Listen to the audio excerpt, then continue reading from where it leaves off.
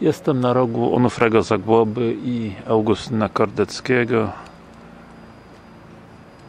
I tutaj po niemieckie domki. Wrocław osiedle Żerniki.